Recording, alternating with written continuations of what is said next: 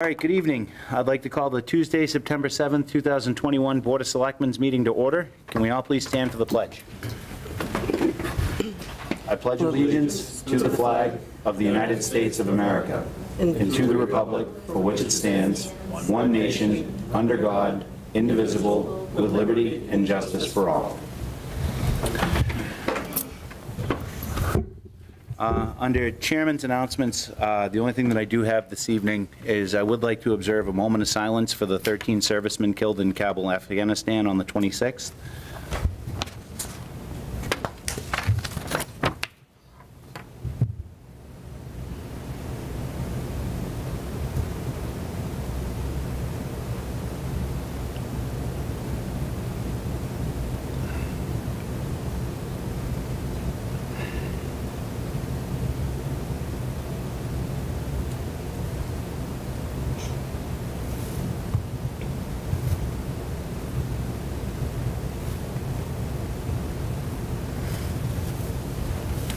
Uh, And if uh, the folks in the room will indulge me, I'd like to read down through the names of the 13 servicemen um, that their lives were taken that day.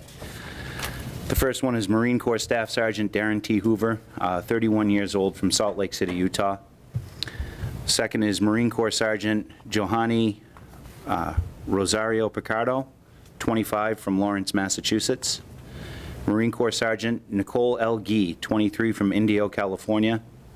Marine Corps Corporal Hunter Lopez, 22, of Indio, California. Marine Corps Corporal Daegan W. Page, 23, from Omaha, Nebraska. Marine Corps Corporal Humberto A. Sanchez, 22, from Logansport, Indiana. Marine Corps Lance Corporal David L. Espinoza, 20, from Rio Bravo, Texas. Uh, Marine Corps Lance Corporal Jared M. Schmitz, 20, from Charles, Missouri. Marine Corps Lance Corporal Rylee J. McCollum, 20, from Jackson, Wyoming. Marine Corps Lance Corporal Dylan R. Merola, 20, from Ranch Cucamonga, California. Marine Corps Lance Corporal Kareem M. Nikoui, 20, from Norco, California. Navy Corpsman Maxton W. Soviak, 22, from Berlin Heights, Ohio. And Army Staff Sergeant Ryan C. Knauss, 23, from Corryton, Tennessee.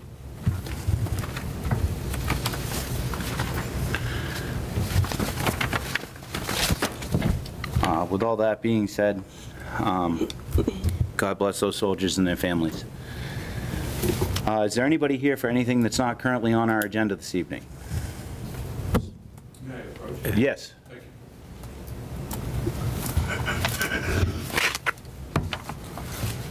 Um, Thank you, through you, Mr. Chair. Um, So on Saturday, we're having a rained-out concert that's being played to finish our concert series, Rolling Stones Creedence Clearwater at the farm, and we are having a memorial to the 9/11 20th anniversary ahead of that. So for two months, I've been working hard, and the chiefs have tried to help get me an honor guard. Uh, We have a bugler, we have everything else in place, national anthem and all that. And um, lacking any minute, if I can get an honor guard, I wouldn't need flags. So I would like to ask if the farm, and myself being the one that would be responsible, I'd wrap them up in polyethylene here. I'd take the tops off, because I know about these generally, the top should come off so you don't break them, um, and transport them to the farm, and I would transport them back here, um, not delaying any time that the town hall is open. That's what I'm asking for, since two months ago, I had an honor guard, then I didn't, and then it's been back and forth, and everybody's got things going on in the morning, and they don't want to do two, and whatever, and so it would be nice to put them on the pavilion there for the memorial that we have ahead of this, and this is, you may have seen these posters. It's not germane to the, you know, probably everything, but this is, you know, we worked hard to put this together, and it's, you know, everywhere generally. And I'm looking just for these two flags, because they are very beautiful, and So, I guess here's my, my question on it. And uh, uh, the whole 9/11 thing is kind of personal to me. I, I lost a couple of people that I served with uh, on that day. Um, I guess my first question is, is as part of the 9/11 memorial, will you be donating proceeds from the evening to the 9/11 fund? We do that. It wasn't, we're trying to keep the farm alive and do things there for the public, but certainly if you're asking for some money for that, I can, I would take it out of my personal pocket. I wouldn't take it out of the farm proceeds. But again, let's see how we do. If we can get 400 people, certainly don't have a problem. If I end up with 100, then I might lose money on the band, but that's the way the whole, all these concert series go. And it's just for the people that are there to recognize, stand up, national anthem. We have a bugler that we're paying to do taps in a moment of silence. We have police officers coming, we do have some fire coming to stand with us, and uh, it's basically a reflection on the, uh, the people that have passed and also the heroes that were made during that day. So, um, they're the town's flags, and uh, this doesn't, th- there's two, right? So you take them, you'll take care of them, and, I'll wrap them up right here, And- brand new poly. and in turn, you know, return them Yeah. the following Monday or so. Um, I don't see a particular problem with that. I think it might contribute to, um, to your event. Um, I, I don't see a problem with it. Yeah, and I did not serve in any military standpoint, but I think, you know, I've been a good citizen, and, and not only, I think good citizens can do good things too, it doesn't have to be somebody in the military. I, I I don't deny that at all, um, and I don't take it lightly. It's, it's just one of those things, it's very, it's close to me. Um, I have, uh, and it's my personal views, is I have a problem with any event utilizing 9/11 and then any kind of for-profit that goes with it. Um, This is to make the people in the audience reflect on it, that we have anyway, whether we had the event or not. And it makes them stand up, pledge allegiance, take a moment, think about what happened, and that's my take on it. We're not going to make any more money or less money if we do it. I just think it's the right thing to do. I, I, I'll let the other members share it too, Kevin, but since you looked at me, I don't, this isn't, um, my understanding uh, was different than what's being presented today. Um, What he's looking to do um, is recognize um, September 11th on an event that had already been established. The flags um, probably difficult to come by, and that these are here. Um, The NFL, the NCAA, all of, all, I mean, shoot, the NFL will have um, flyovers and things, right? So, to me, it's not that egregious to contribute to an event that's existing by uh, presenting the, the colors um, that the townspeople own um, to an event, knowing that they'll be back, um, you know, probably less than 48 hours. I think any, any thought of the, of what events that transpired on that day is, is worthwhile for people to come back to in their, in their minds. So even if it's part of another event, it's, I mean, it's timely, obviously this time of year, it's the 20th anniversary coming up, so I would, if uh, you're making a motion, you made a motion, or? I- I'd like to comment before you you Good. make a motion. I understand where Kevin's coming from. I I as well um, know somebody that was lost in that uh, event that happened 20 years ago. You have mixed emotions when when you have, when you're that close to it, when it's associated with something that's commercial. Um, It's like uh, during, during our election, uh, Hal, and somebody swiped my sign, and Hal's sign on, from the previous year, and put them on the town common. That's just a no-no zone, that, because it's up there on the monument. I don't know what to feel on this, to be honest with you, uh, only because of knowing somebody that was actually in there, and I'm not, And, and we all do.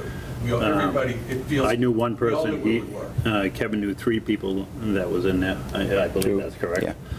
Um, It's a very tough situation.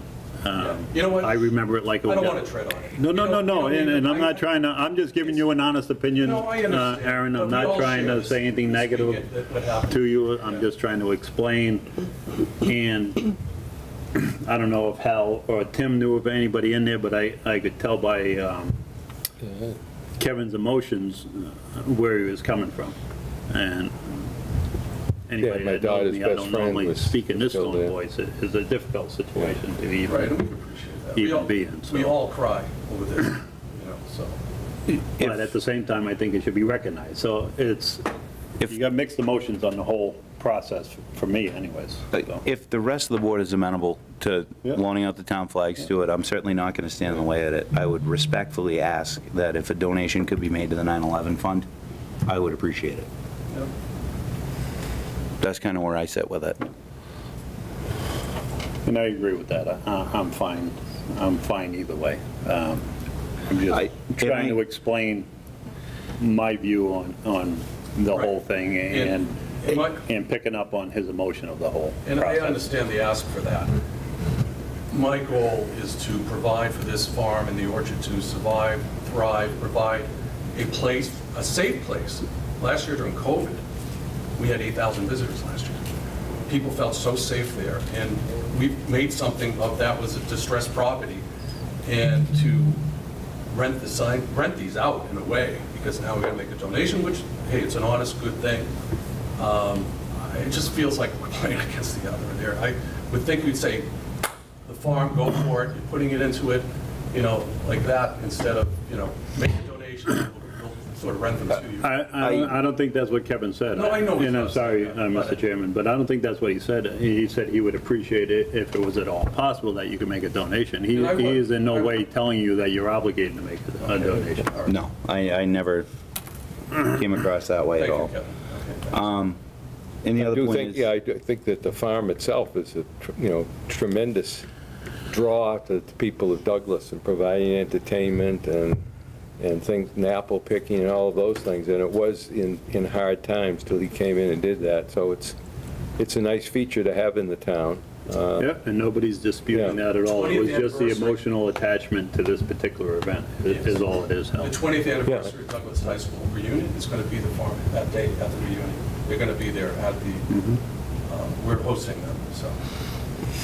And if you want to entertain somebody in the back, want to say, if you want to entertain somebody in the back or not.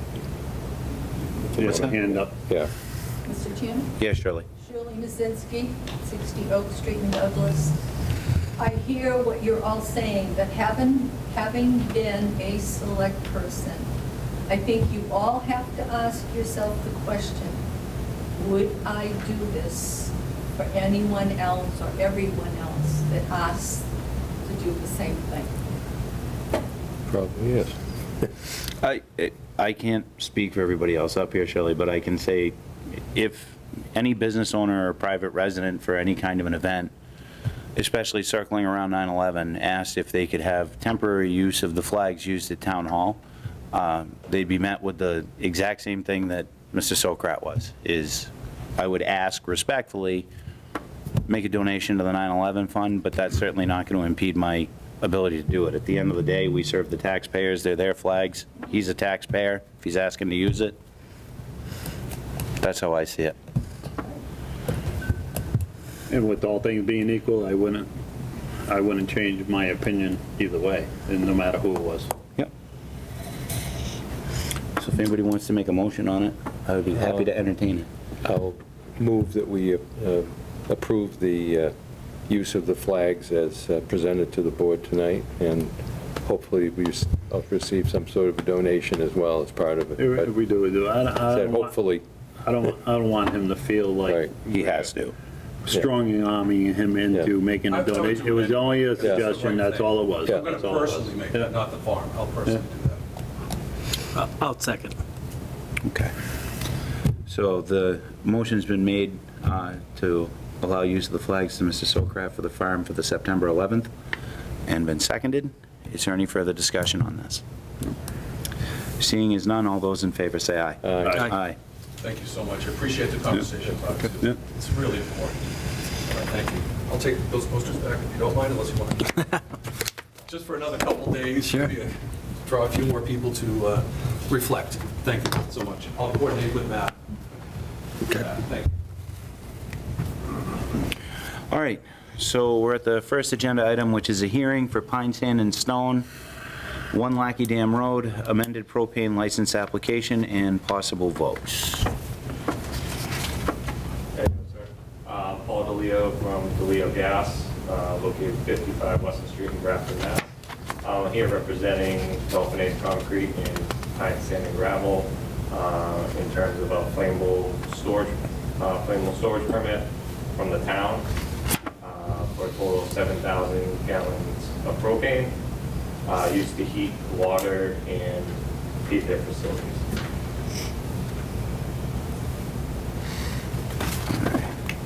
Is is this just a renewal of what the, uh, I think it's a new application, Uh, It's an yes, a new amendment. application. yeah. and it says, Something like that. yes, chief.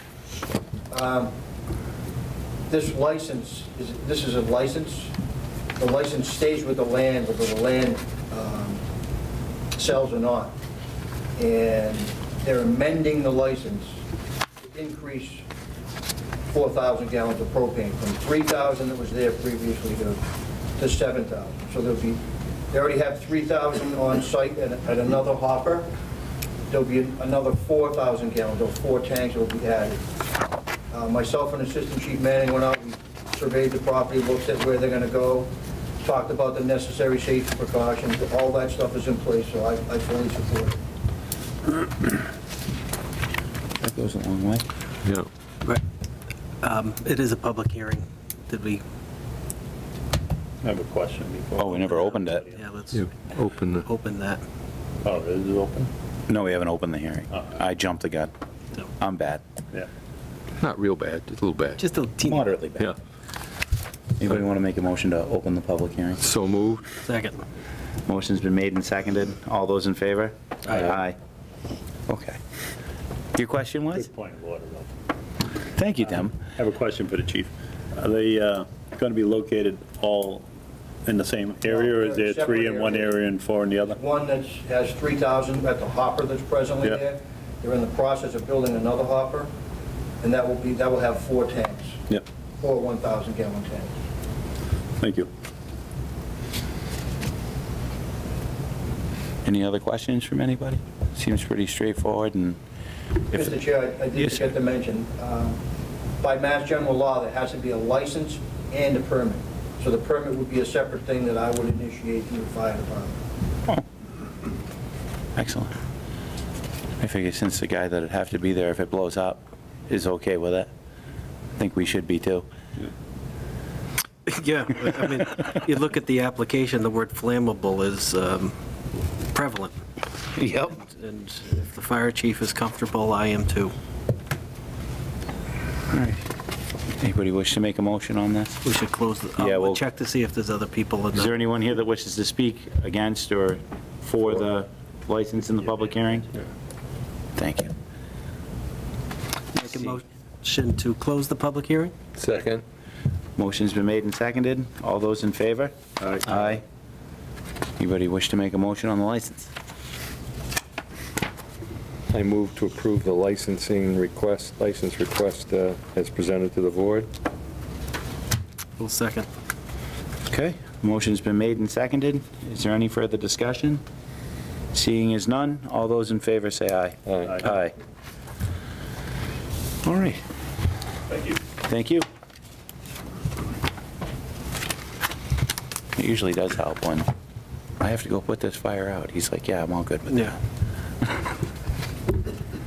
He's, All right, so we have the road use mid-state massive ultra trail race hmm. from 10-9 to 10-10 and possible votes. Is there anyone here to, it's- is it massive or ultra? Or is it both massive and ultra? It is a massive ultra. You got 100 miles from New Hampshire to Lake Wallum. Where's it start in New Hampshire? Um, at uh, Windblown Cross Country Ski Area, All the way to Wallum seven Lake. miles north of the border. Aw. You running on this one, Tim? I'm not. No. My Peloton's in the truck, Yeah, in the well, shop. if you run. Yeah. Yep. All right. And have you already been in touch with uh, police, fire, EMS, and highway regarding details? um, I believe we have, we're only on uh, Northwest Main Street for about a quarter mile before entering the trail at Lakeshore Drive. And then we uh, cross Route 16 on the Midstate Trail, and we'll have signage um, stating runners crossing the road and going in both directions. Uh, We are also working with DCR, who has requested that we um, request an ambulance on site at Lake Wallum um, for the runners, just in case as a precautionary measure. Um, And we have obtained the certificate of insurance for the town, et cetera, all right. So DCR, would we be able to accommodate the ambulance request and have staffing for a second ambulance to handle all the in-town stuff? And I I will send you that email. I I talked about. All right. You sure you don't want to run in this then? That's too far from me. That's too far. How about you, Hal? No, thanks. No? Next year, Next year? I'll be in shape then. Can run it once and then throw your sneakers away. Yeah. Come on down to the finish and uh, cheer on the runners as they cross the finish line. You'll love it. Who was? Rosie Riaz, is that the one that ju- went into the, Ruiz. Bo- Ruiz went to the Boston Marathon and joined in what, the last mile, was it? I missed the. I missed the part about crossing Route 16. I, um, it's a Saturday, Sunday, you know, 16 can get, can get busy. I would, um, has the fire, the the police chief? Sorry, the, uh, the audio broke up a Oh. little bit there from the person speaking.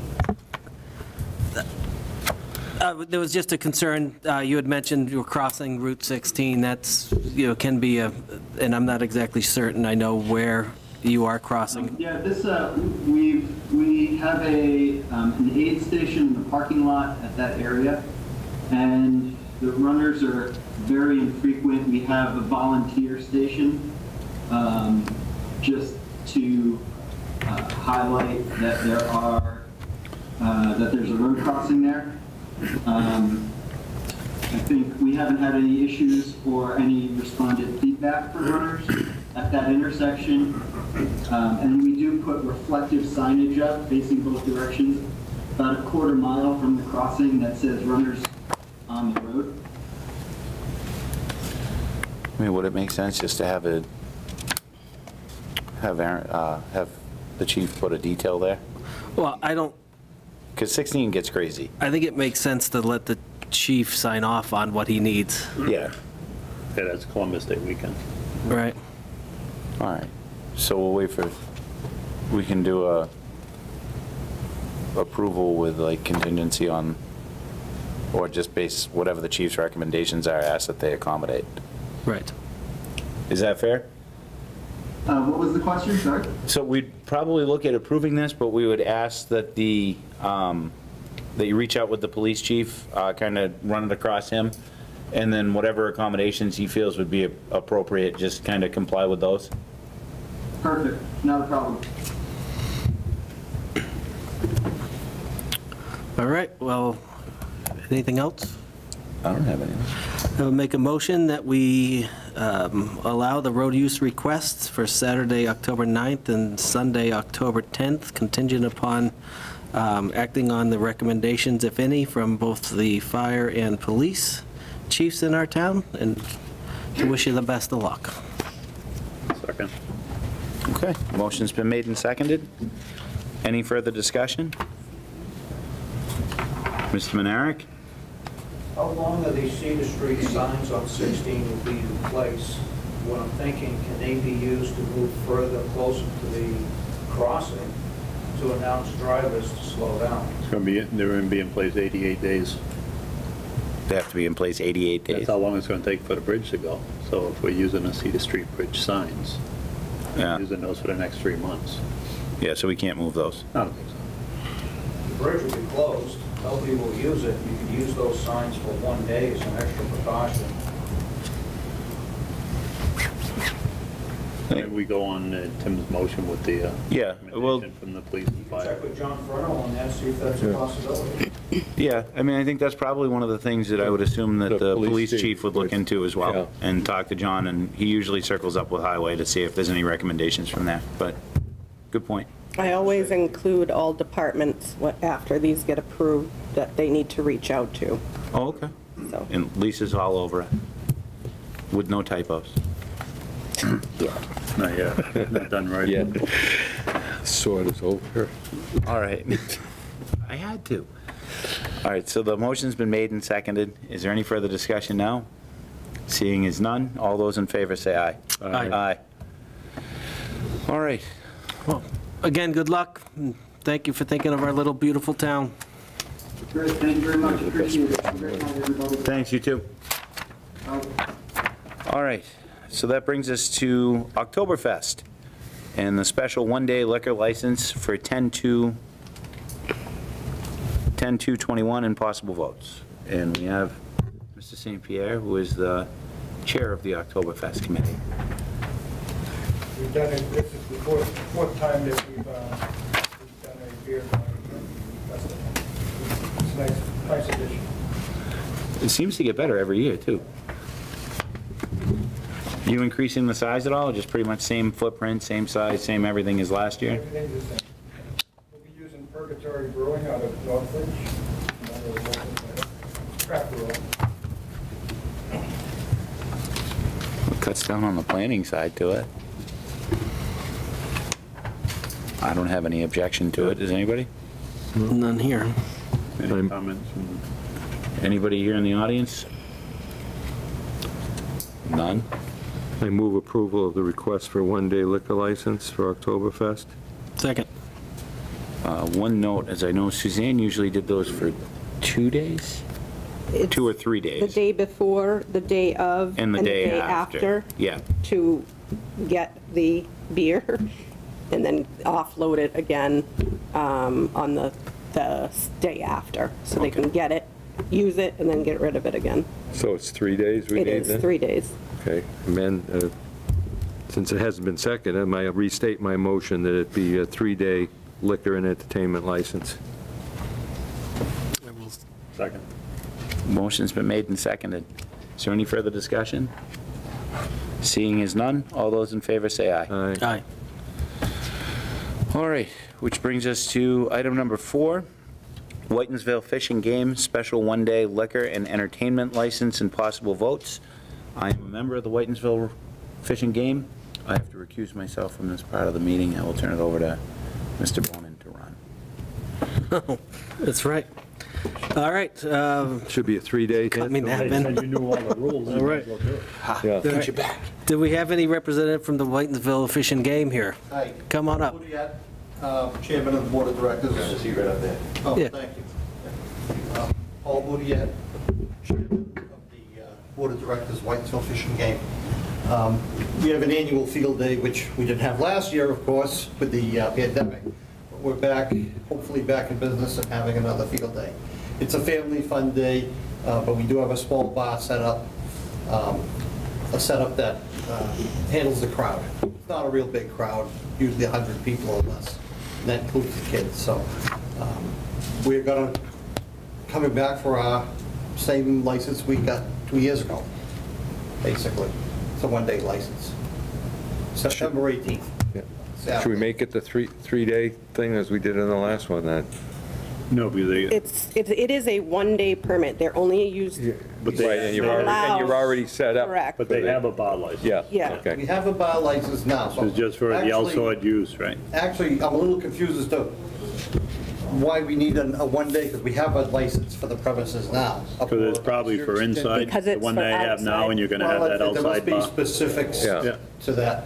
So we're getting the, the one-day license for the uh, pavilion, uh, which But they set up and Lisa break said, down one it day. goes three days at the end. Well, But yeah, it's we only because pour you- one day. You also can't use stock from I inside. understand. We Okay. have a separate Yep. purchase Yep. of- of- for that, and then we dispose of it after. So it would be three days with that one as well? Crazy rules. It is, but it's still a- the one-day permit, yes. Okay. But the length would be total of three days. We pour on only one day. Correct. Yeah.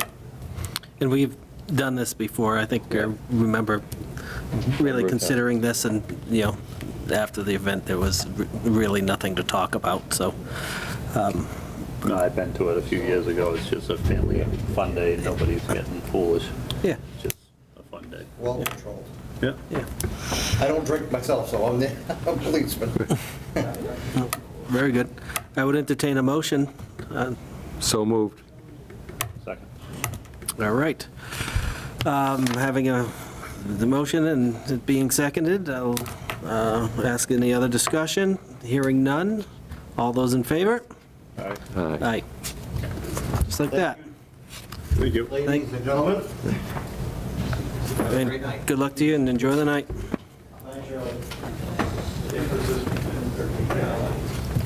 Sir, if you could send the chairman in? He's the one with the cigarette. He's released from purgatory now. What? I was just trying to help.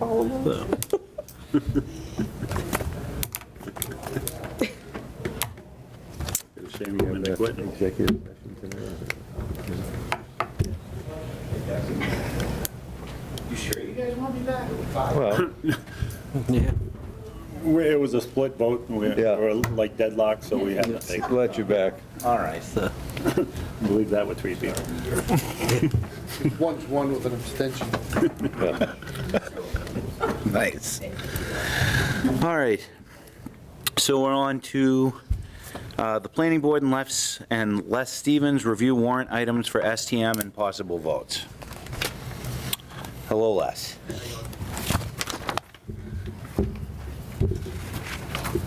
So the planning board, so the planning board, um, back in probably last September um, into probably December, took up about, I think we looked at six different things that came across our board. Um, One of them was the accessory apartments, which I think we're going to try for the spring to kind of clean up that. Um, That's just been more of a nuisance going through the accessory apartment renewal process. Um, So what we ended up doing was, was we cut the articles down, um, discussion went back and forth with planning board as well. At the time, town engineer Bill Cundiff was there. We had these uh, articles ready for the spring, and then um, we kind of lost uh, line of sight with the staffing turnover and things like that. Um, So the articles are pretty straightforward. Um, A lot of them are are applicants that came before us with, um, second articles really related to, I think it's Caswell Court. Um, And we realized that nobody could have 200 feet of frontage in a VR zone to be back to, for a um, reduced lot frontage being that far back. Um, Because then the setback is only 50 feet. So we're trying to look at kind of updating the bylaws and, and make some, some corrections there. Um, And then the other article is around the highway bounds. Uh, The highway bounds was, has been kind of been a pet project of the planning board for a number of uh, meetings and town meetings. Um, We usually ask for 12,000, but considering we missed the, the spring and now we're into the fall, uh, the board members asked to increase that to 25. What we're, the highway bounds are for a number of our subdivisions that went bankrupt. It's to uh, put the land markers in there so they can properly survey people's property, knowing their, you know, uh, front yard areas and, you know, what their lot lines are, be able to put, place a shed and things like that. Um, This came about, um, I think Shady Knolls Estate, it was a um, property owner that came before us and said, you know, guys, my, you know, half my subdivision doesn't have bounds. Um, We looked through it with, at the time, with the with the staff that we had on hand, um, ended up finding, I believe there was like six or seven subdivisions with missing bounds that were incomplete. So, um, and then uh, the other article, the last one there, was uh, brought before us um, regarding the use table change. Again, our use table and some of the things we've added, uh, we haven't gone through in probably sitting down as a committee or joint committee to review things, to figure out what's, what needs to be changed or what's outdated. Um, And that one came forward with us, with, again, a a citizen stepping forward, asking for this change. Board felt that that was proper change to, to induce uh, a business into that area, so. That's uh, the cut and dry of, of of these articles. Um, Planning board voted unanimously to move these forward. this is a cut-down list of six articles. So the one that we want to really, and just so you guys for, uh, a little forward thinking is, is the accessory apartments. I think we'll pick that back up right after the annual, the fall town meeting because of uh, the renewal process, and we, we got a little bit of a s- split board back and forth, but I think it's just about putting it- articles before the people, of the townspeople, and figuring out uh, what they want and what they, what they want their town to look like. Um, And, and the aggravation, I think, of some of the overhead that we deal with around the accessory apartments, so. Les, are you here on behalf of the board? Yep. Yeah, I got drew the, the short straw on that one, so. Could I ask a question on one of them, the Yep. 4.3 lot frontage uh, Exemption? exception? Yep, So the area of said lot is at two times the required area for RA zone possibles? correct. So Was it at 1.3 times and we're looking to change it to two? So the, it's funny, the, the, um, the RA is two times, but the VR was three times.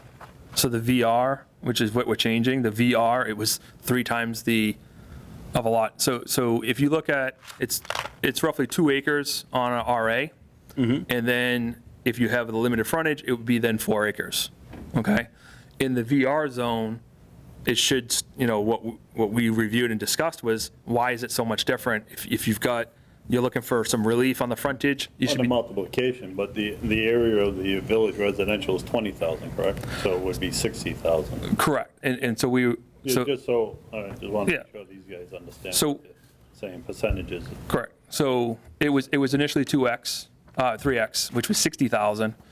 And then, um, with our back and, From an acre and a half to a- an acre. An- an- an acre. Half acre to an acre and a half, and village residential go from two acres to four acres in RA, right? no, 20,000 square feet to 40. 60,000? to- well, it- that's what it is currently. And we would go to 40,000, which is still meets all the Title V requirements. Yep. So, and then the V, uh, Yeah, the I'm RA. trying to help them understand what Yep. it currently is. That's- Yeah, that's, that's what it is. It, it's, but we- we looked at, looking at the town maps and looking at where these possible uh, lot frontage exemptions would be used for a VR zone, and there's a- just a handful of them, if possible. Um, And, and the 200 feet of setback, we don't even require that on an RA zone, because it's a 50-foot setback really for the house, and then they need a little longer because of the driveway to, um, to be placed in the house and stuff like that. So those were the thoughts. We spent a number of times with the town engineer at the time, going through these, um, probably over three, four months, and um, tightened them up. They were all kind of ready in, in the January, December timeframe of, of uh, this year before um, we had a staff change. So things were actually progressing to try to bank it for the spring, and uh, things got off the rails, and um, you know, we're, we're putting these forward um, to host a public hearing and a discussion on them and get them on the town warrant so the folks can vote up or down if they want these changes. Yes, sir. Just a couple thoughts. Uh, One is, I haven't had a, I just received this thing, it came in Thursday. Um, Haven't had enough time to make an informed decision uh, or comment on this, haven't had a chance to look into it. But aside from that, we're uh, hopefully going to be successful with our next candidate that we have um, in the planning role as a town planner. Looking at the resume of that individual has a strong background in zoning uh, review and rewriting if, if need be. I would think that unless there's a huge time crunch, um, I would think that we should at least go through that process and see if we have somebody else that's going to be in that capacity. My concern i- is, it seems like we, we constantly keep jumping to make a zoning change. Um, We did it for the car wash, which I don't see a car wash there as of yet. I'm sure it can show up at some point. Um, Talking about, uh, there's a restaurant uh, rezoning that's in here. There's, uh, he's talking about uh, rezoning for the accessory apartments, and I think that. That's not in here. I think, uh, I understand that. Let him speak. Um, I believe that's only for a timing thing. If I had caught one of your meetings, instead of three years, it was five years, something like that, you were changing that, the time limit on that. Um, I would just, I would personally like a little more time to make sure that I could look at it and see, see what it is that I may be concerned with, that I could actually have some input into it, and make a comment. Um, I don't think I could make one in just looking through the stuff briefly to give a, a good solid comment. Do we have a huge time crunch? Would this be able to make it to our next agenda and still be able to hit the warrant? Would, by our next meeting, give you Oh, no, time? yeah, any, anything more than a day or two would be helpful.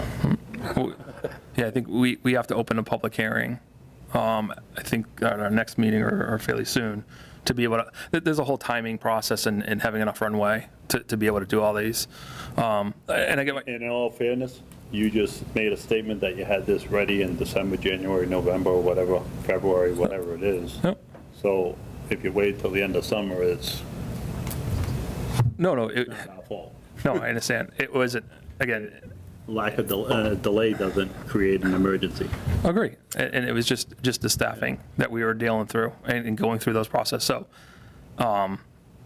I haven't seen, I've been on zoning for the last almost nine years, and I don't think we've seen anybody that's come forward that's addressed any of these issues that they get denied somewhere. So I. yeah, yeah, we're not, we're not looking, we're not looking, Just making that point. yeah. We're I not, don't like to rush into things, Mm-hmm. especially this is a long-lasting uh, change that's going to stick with the town for quite some time until somebody else uh, attempts to change it, whether or not it goes through. So I would rather look at it properly and make good, sound judgment that's going to affect the town long-term. We have time for both boards to be able to go through their runtime in order to make town meeting, right? If we just push by one meeting? I think you would. You'd have to have your advertising requirements for a public hearing, mm-hmm. 14 days. Mm-hmm. Yeah, I just, I don't know if we meet They would have twice. to have their hearing in time. Yeah, I don't know if we meet twice. STM. You know, Why is it urgent to be done in the fall? Is there any urgency to that? I'm don't just, need that. I'm just asking. I, I know, the, well, the, the the thing was, was that we were trying to put these in for the spring from, again, some situations that we dealt with.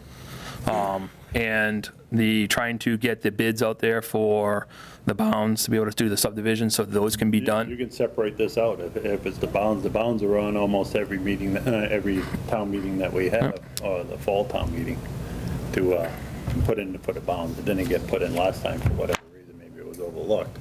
But you could separate the bounds out. It doesn't, this isn't an all or nothing thing, correct? No, no, it was, it, you could separate out the bounds. My whole point is poor planning gives you poor results. And if we do this properly, you can ultimately end up with But something that's that's an gonna good. important question. What is the board's intent here? Is it a package of amendments, or do you want each of these initiatives to be a separate? Th- They usually, uh, you know, I mean, in the past with the moderator, usually packages them together for an all, all-together vote.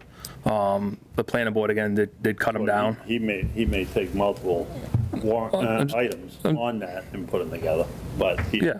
The moderator the. Uh, The mo- moderator taking them on a vote does it, all packages them together. Um, What the planning board just did was they, they looked at all these, again, um, vetted them through the staffing that was here and- and going through and making the changes.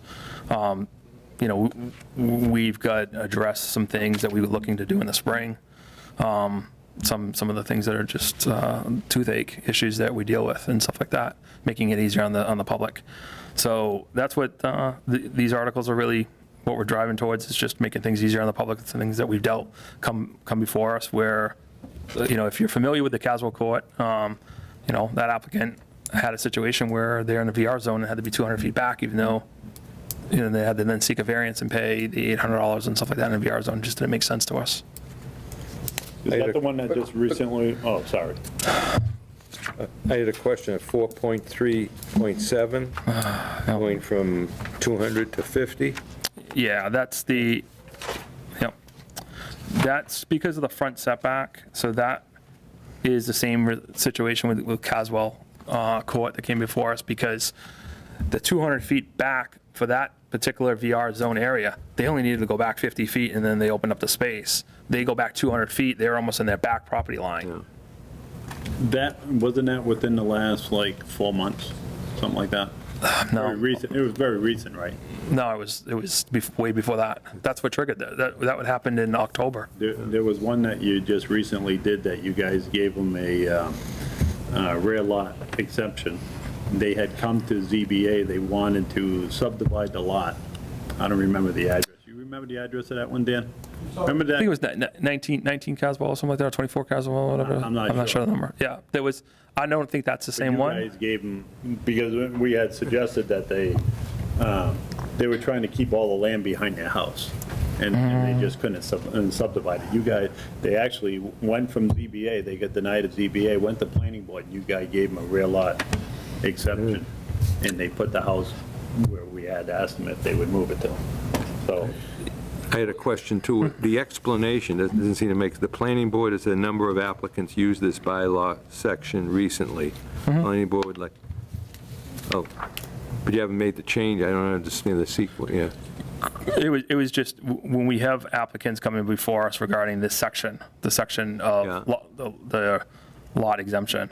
So, the- the, so what it is, is it's a reduced lot frontage exemption. Um, That's what triggered us to look at the language, you know, in our review. We we were like, okay, what other parcels would have the same situation? What other situations would this? And then it was trying to figure out, why is, you know, is, if you're a VR zone, you're 20,000, why would you have to do three times the area?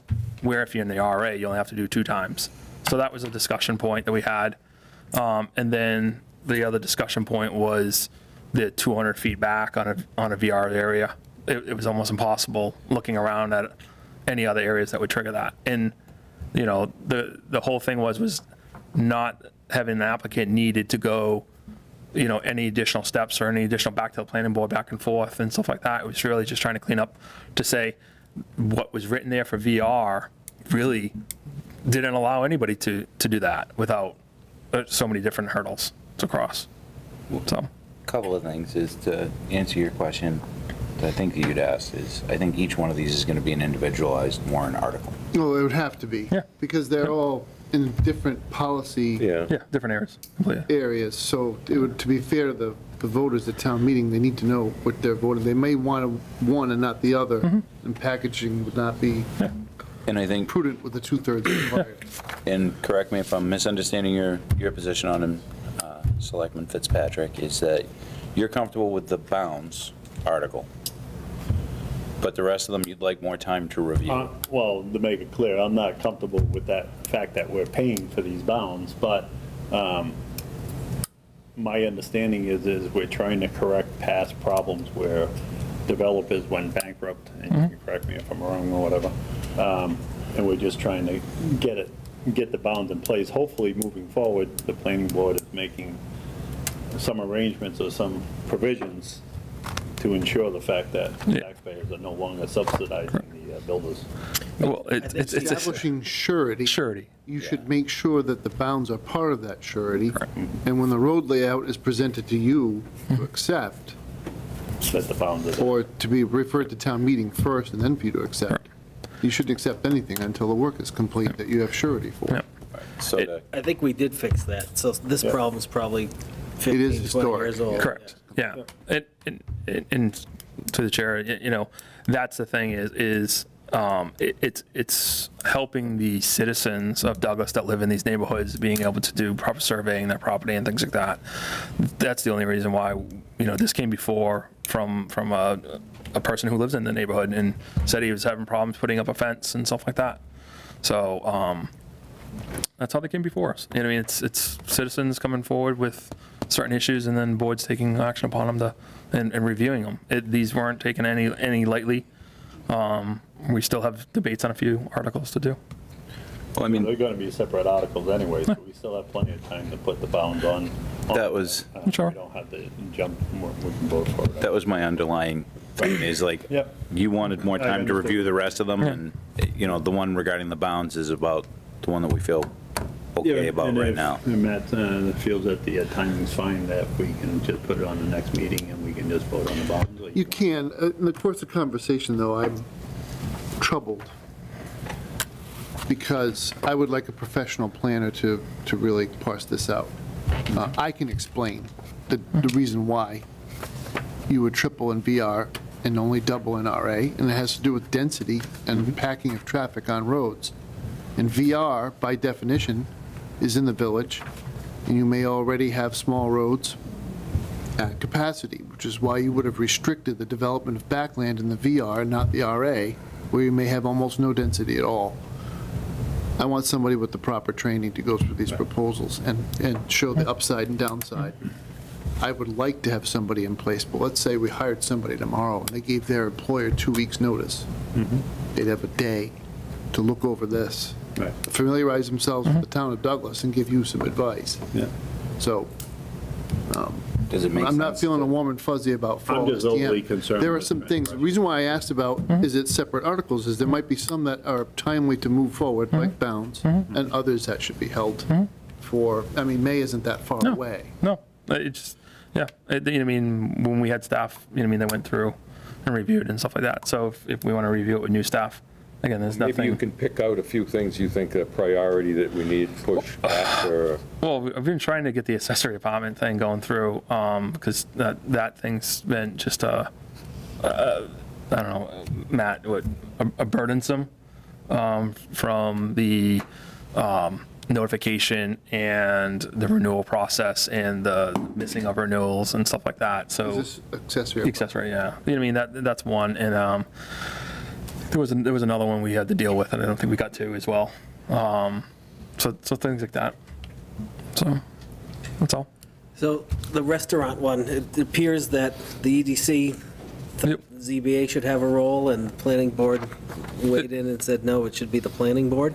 No, it's, it's, it's usually the planning board sponsors the articles, Okay. um, That's- and, and I'd say 90% of, of articles related to, uh, the town's bylaws for changes is usually sponsored by the planning board and carried forward. The forward. one, the one benefit of doing it that way, Tim, is it gives the applicant a, op- a mechanism in which to appeal it locally Yeah. versus going to court. Yep. Yeah, if, if, Even though I was thinking that it should be the other way originally until it was explained to me that way. Yep. And it makes sense. Correct. So- Yeah, you don't want to take away your local uh, appeal process. If, if something's sponsored or something's introduced that way, then you, you lose your local appeal process. Yeah. Why did you take out RA? Didn't we have this discussion about that? What do you mean, RA? It's kind of going down a rabbit hole? Like, No, I'm just, uh, yeah, that's why I stopped. I realized that maybe I'm going somewhere I'm not supposed to, so. I think it would probably be, it really doesn't matter. I can go to a planning board meeting and ask that question. Okay. either that or we Sure. could propose a joint meeting with planning and, and get your questions addressed by the whole board. It's putting Mr. Stevens kind of on the spot as a single representative. I don't know if I want to jump into a, necessarily get into a, a, a all-night meeting. So, All right, yeah. I- I've witnessed some of their meetings and, and giving them exi- uh, extra help could make it go longer.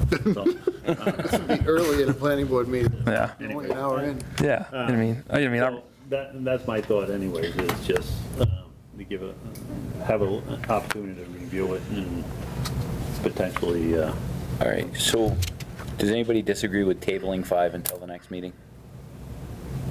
Joe, No, do no. you want to, um, Oh, Bob, do we want to put the bounds, uh, to vote on the bounds, do we do it separately, or can we split that up from what this is?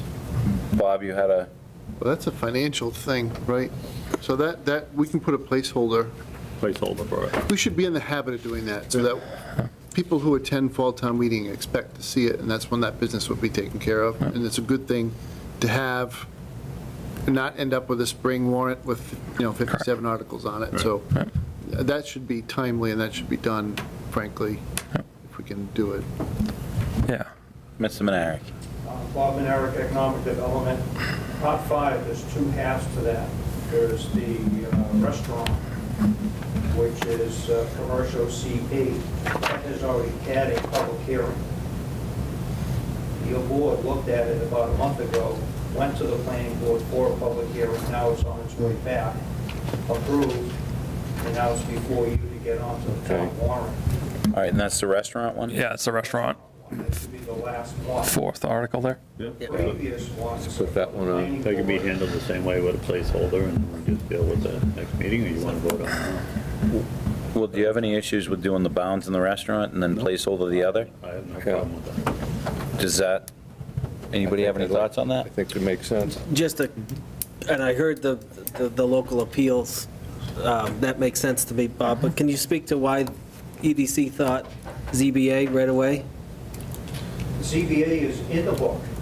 It's already in the book. The planning board changed ZBA twice to planning board, and then the re- the request was for village residential from an N to a, we recommended the zoning board, the planning board struck out the three ZBs, special permit by uh, zoning board to special permit by planning. board. Okay, so, It- it- and- same, Their, their That's the- reason was they keep the appeal process in town. Correct. The o- the other thing with that is they would be doing a site plan review. so Yeah. They can do it all at the same time. One-stop shop is, is the goal there. I mean, and still having local control.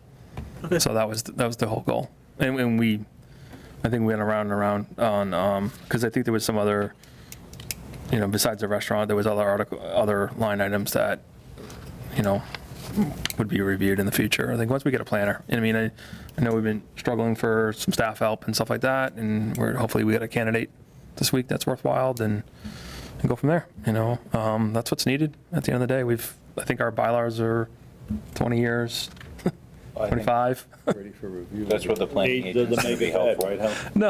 No, Age doesn't make it bad, right? it's only in wine. I don't know what he was implying. Yeah, I know, looking at me. What are you guys I don't know what he was going with that. No, but it's, it's just an, out- it's an outdated playbook. Look at it that way. to keep the ball moving, we're looking at two out of the four Yeah. being proposed today. Yeah, we're okay with the, with the bounds and the restaurant one, and then we're going to placeholder the other We two. need a formal Okay. vote on those two, or just is enough to, that came before us? Why don't you vote so that? Two separate It's your votes. warrant. Yeah. Go for it. Tom. You can do it. Come on, come on. All right, well, let me just find the Uh, first one. You got a waiver in the audience. To clarify, one has had a public hearing already, Yeah. the restaurant. The bounds needs to go back to the planning board for a public hearing. I hearing. don't think it does. No. It's not a zoning change. It's a money thing. It's money. Zoning Yeah. change? No, Yeah. no, no. Just goes before you guys, Yeah. and you guys would advertise and go from there. Does that answer your question, Mr. Yep. Mayor? Yep. All right. then. Anybody got a gag? It doesn't work. I would make a, Acknowledge Bob, or he's going to end up at your house out in the shrubs, and you're going to hear him that way. I would, Yeah, that works out for 'em. I would make a motion to inform Matt of this board's desire to see the highway bounds appropriation discussion and the zoning use regs, zoning bylaw, no, correction, the restaurant, um, I'm going to call it the zoning bylaw, zoning use regs um, proposal uh, be on the next town meeting warrant. Placing it on the warrant. Okay. All right. Second. Motion has been made and seconded. Is there any further discussion or clarification? Seeing as none, all those in favor say aye. Aye. Aye. Okay. Excellent. Thanks. All right, appreciate your time. You want me uh, back on the 19th or whatever, the next meeting? When you guys meet, in two weeks? Yeah, in two weeks. Yeah, 23rd? she'll post it. Oh, okay. All right. We'll play by ear. Perfect. We'll have our people call your people. Sounds good. Thanks, guys. Good night. All right. The next agenda item is the use of ARPA funds as Ma- Mass Works match not to exceed $950,000 and possible votes. I'm looking right at Mr. Manera because I'm sure he's got a lot to say on this one. Make it short. I think Matt can speak. Yeah. All right. The, uh, you're looking to me to be concise, that might be a mistake, but an abundance of words would be a mistake here. The town of Douglas has an active MassWorks application, and that process of weighing the various proposals is underway at the state level. The town received a phone call from the Assistant Secretary and his immediate direct report. And I'm not at liberty to go into every last detail, but I'll summarize as follows. There is no promise that the town of Douglas will get a grant.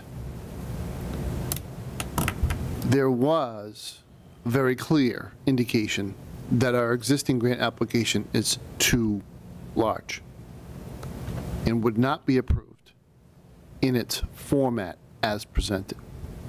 Because we, we blew through all the markers, right? So we're asking for a $12 million project with $8 million worth of grant funds. And the largest grant I think they've ever given is just a little bit more than 4 million.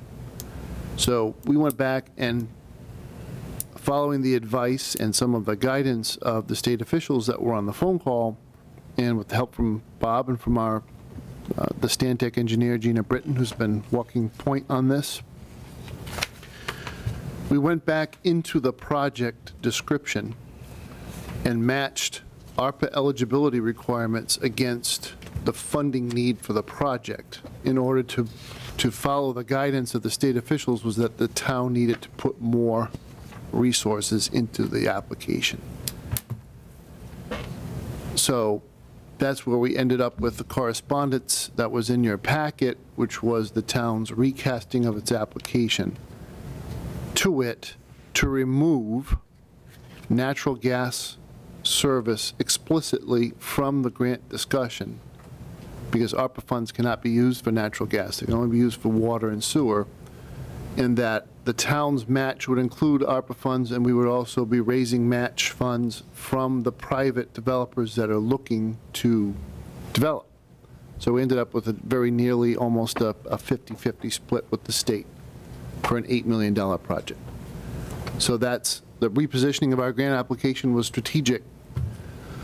Our intent has always been, I say our because I think the board received this recommendation positively, was to form a citizen committee to discuss how to spend the $2.7 million worth of ARPA funds the town will receive over the next two years from the federal government.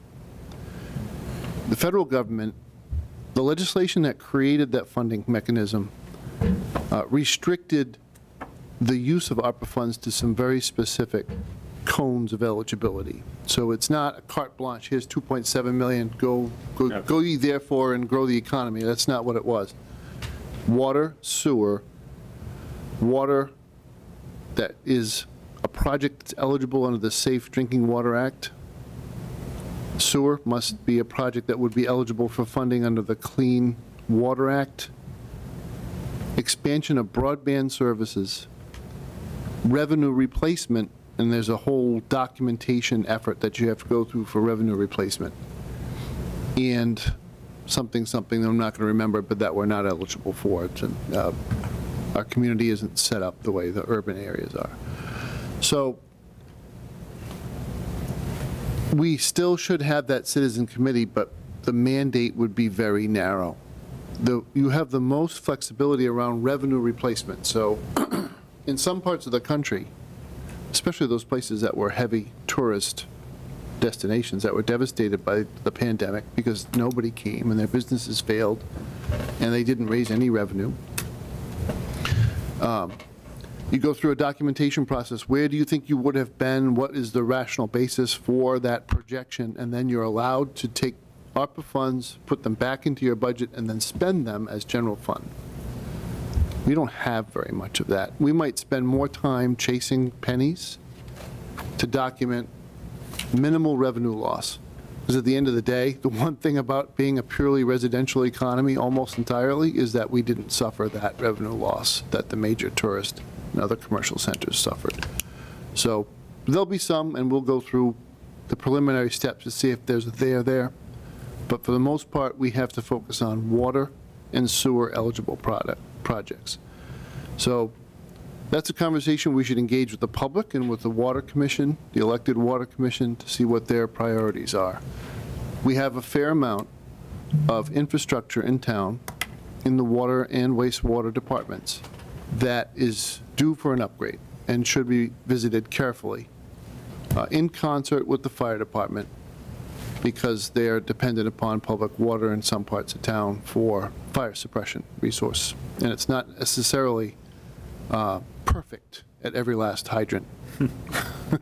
So there may be, there's a there there in terms of what that conversation should be directed towards. The $950,000, which is a high number, so I'm building in a cushion for contingency. Reflects that part of the project that's in our MassWorks application that is ARPA eligible. So of the almost $12 million, Stantec identified over 5 million that would be ARPA eligible. It's all the engineering that goes into the water project.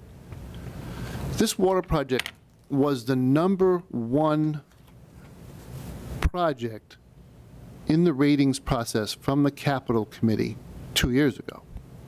And that's to upgrade the water service down Gilboa Street, because at one time, when the Shell station was put in, somebody planned ahead and put in a big pipe. Problem is, they connected that big pipe to a small pipe, and that's not really good practice. That entire pipe needs to be upgraded to the same size as that larger end, so we're not creating basically a water hammer at that end of town. And then running that service into the other towns that are part of the Blackstone Valley Logistics project on the other side of 146. Our grant application is faring well because we have a regional component. We have part of our project that helps both Sutton and Uxbridge as well as Douglas get a project done. So that's what the focus of this would be. Bear in mind, if our grant application is unsuccessful, you haven't spent that whole 950. What, so now I'm going to look at, we've spent 200, 225. 225 To date, for engineering. engineering, so that engineering, though, is going, is resting at 90%, right? The 225 will bring it to 100. 100% design. So those will be shovel-ready plans for any grant application we would file, or that we would work with, with a private sector uh, partner if we don't get the grant. That's pretty much in a nutshell. It's a long nutshell, but It's a very big nutshell. I don't, I don't, it's a really big grant. It's a really big opportunity. So do you need us to, you want us to vote on this? Yeah, I I'm not comfortable obligating the town into this kind of six digits approaching seven digits. I mean, that's for you to do. It's grant funds, so technically they're spent without further appropriation, but the select board should, At least vote on it. yeah. I'll move that we uh, use not to exceed $950,000 of APRA funds as the Mass Works match. Second. Okay. Motion's been made and seconded. Is there any further discussion? Just in, for my own edification, um, the ARPA funds, does this board control those monies? Um, Does any portion of it have to go to town meeting? You should get a formal written opinion from counsel, but the way grant funds are always handled when they come from the feds, under federal el- eligibility guidelines, they are spent by the departments typically without further appropriation from town meeting. Okay. Because it's not being raised and appropriated from the people, it's coming in from an outside source. No, that makes sense. Great. Now, my view then, though, as the chief executive, the select board makes the dis- Should be behind this. determination. Yeah. Yeah, absolutely. Thank you. You're welcome. Is there any other discussion on this? Seeing as none, all those in favor say aye. Aye. Aye. Okay, we have a potential new member for the EDC, Steve Grogan, not the former quarterback not from the New England fullback. Patriots. You should throw a He's never heard that before. Yeah, right. Never. I will say this, I I do own two auto- autographs, and one of them is Steve Grogan, so, Oh, you get some Get a third one. yeah, he's, he's golden. Are you good? Good. So I think we've been, he applied a while ago. I think we've just been trying to wait to get him onto the agenda. Okay. And I'm always happy to see any new member, to any volunteer. Give us a little bit about your background and Well, I've lived in town for 22 years. Um, A lot of growth. We haven't seen a lot of stuff happen.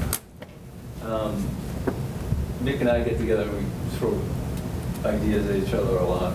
Um, You know, if I could make a little difference in town, I think that'd be great. Um, I'm a nurse, I work at um, UMass Medical Center. I work in the OR. Been doing that for about 18 years now. Um, you know, I have a couple degrees. Great. Work well with people. And you can throw a football 40 yards with a tight spiral, or, no. I can still do that. So, I would make a motion to welcome uh, Mr. Grogan to the EDC committee. Second? All right, motion's been made and seconded. Is there any further discussion? Seeing as none, all those in favor say aye. Aye. Aye. Thank you for volunteering. Yeah. Welcome. So, all right. Tell your friends we got more openings in other areas. Right. So we can stay or go, it's up to him. Yeah. We're not used to an audience, but we're always happy to have one. You guys are welcome to stay. I'll try. Because you don't have enough power? or because- I have like no bars. all right. I'll, I'll do it then. We're gonna try to get town counsel on the phone because he has to be part of this. All right.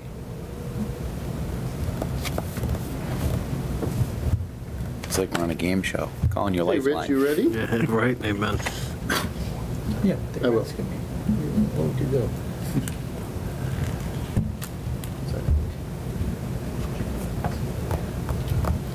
Science, wonderful, technology. This is so exciting. It's never a dull moment at our meetings.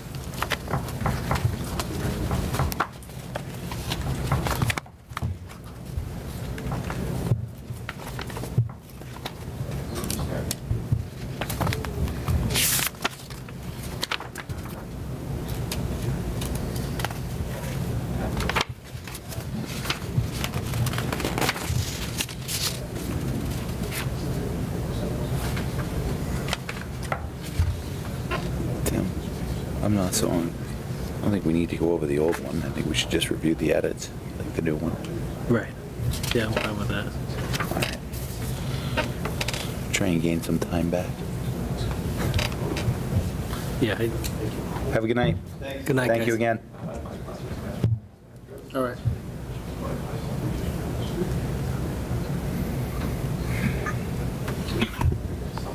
This is crazy, but can, can you hear us? We're gonna try to hear you. I hear you. Uh, pretty good, actually. The esteemed town counsel, how are you, Mr. Bowen? I'm doing fine. Thanks, Mr. Chairman. All right, so we are going to review and update the code of conduct for boards, commissions, and committees and possible votes. And we Yeah. understand that you had asked to be part of this conversation. Yeah. So my thought was, is um, Matt had sent out to us in our packets um, a list of proposed edits uh, to our existing code of conduct for boards, commissions, and committees. hmm Uh, I figured I would just review what the edits are and kind of go line by line and add any uh, color legal commentary as needed. Was that your plan, Mr. Bowen?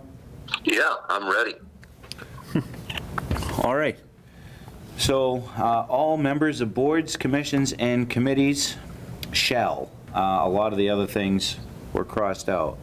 First item is be well-informed concerning the duties, responsibilities of their committee, discuss or act upon those matters their committee is authorized to consider, as defined in federal and state laws, uh, town bylaws, and town policies. Hard to argue with that. Yeah, it's apple pie and motherhood. All right. Uh, Number two, make decisions only after all the facts and analysis have been performed and presented and discussed. Uh, Acknowledge and respect all lawful majority decisions uh, of the committee once they are made. Once we, yeah. Yep, that sounds good. Uh, Item three uh, is completely struck off of the previous. So the, so the new three, formerly four. yeah.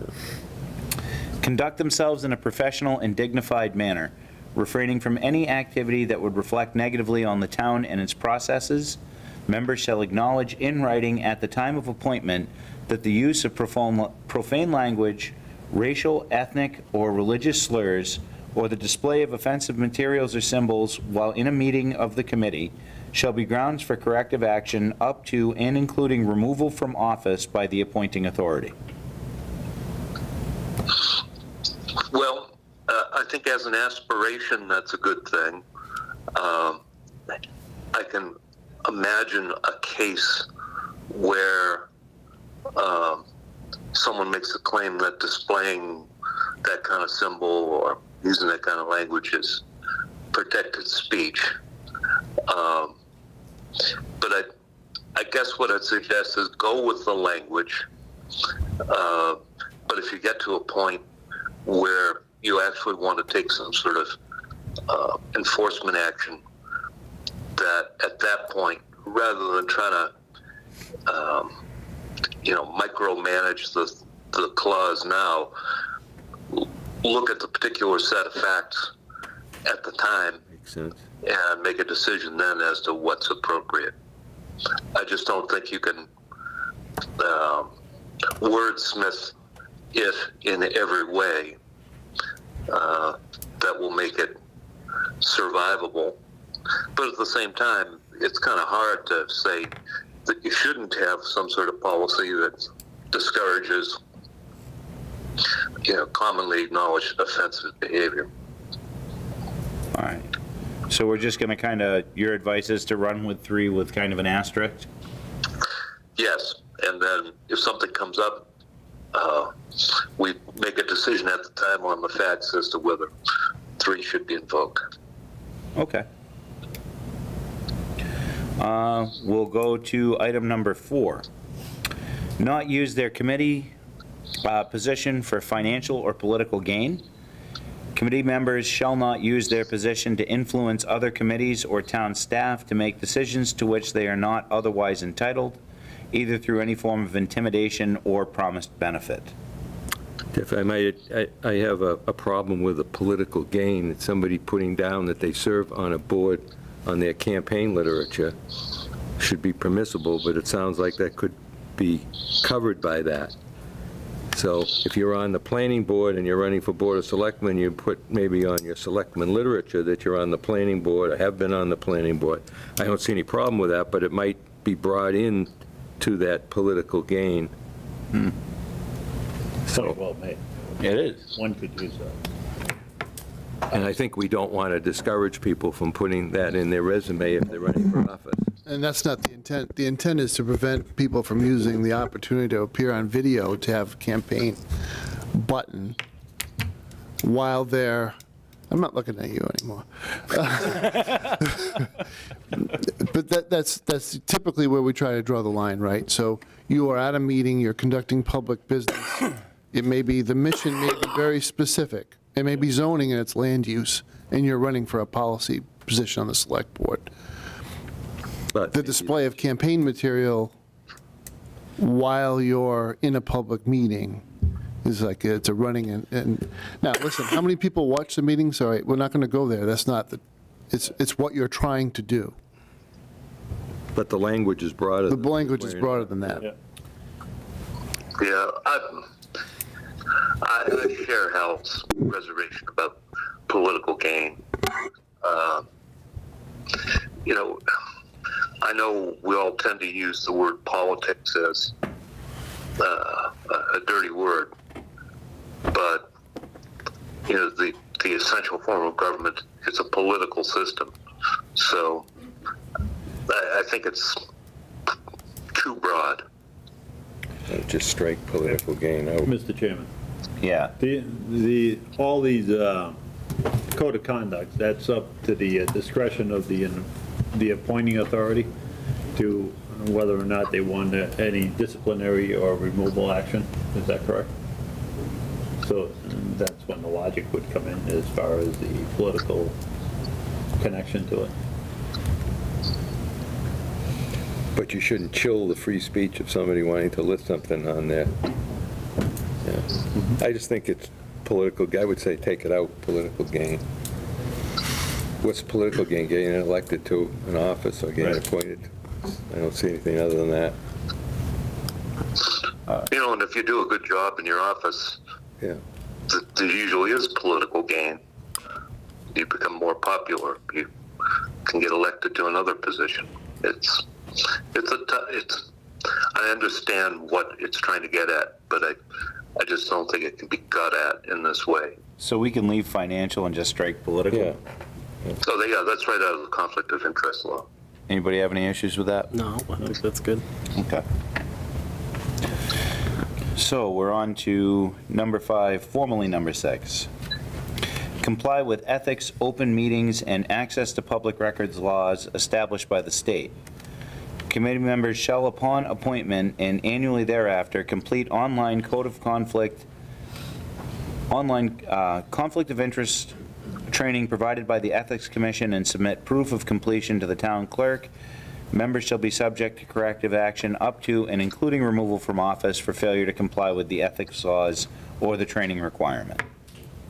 I don't think there's anything wrong with that one. No. I That's a just- I state wouldn't- law. I- So I wouldn't specify online if I had to write this again. Any training opportunity. So we could get somebody from the Ethics Commission to come to Douglas and train many board members in one meeting, for those who especially don't want to do it Should it be online. Comply with the ethics law. Well, the training, do you want to The- put the- any? The training is what gets you the awareness of what you're supposed to do. And I think you've been through it recently to Yes. be on this Yeah. board. So it was what, 45 minutes? Yeah. Not a big deal. Haven't done recently. I have to do ethics training twice Separation of year. loyalty. Um, Just a point, uh, Mr. Chairman. In number three and in number five, you have the corrective action in there. Number four, you don't. It is not necessarily have that repetitive throughout the whole thing. Is it just assume that it would be a corrective action if you didn't comply with any of these steps? Yeah. Or these uh, code of conduct items? I think so. It's implied that corrective action will be taken. You could put it at the end as a blanket that covers. Well, because I see it, it just, it skips every other one, so it just, is it opening up an argument? you have a separate enforcement section. Yeah. Okay. That makes sense.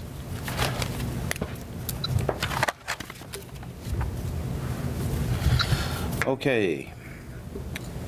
Um, The next item is not make statements or promises of how he or she will vote on matters that will come before their committee, um, before all sides of the issue have been heard during a public meeting of that board or committee.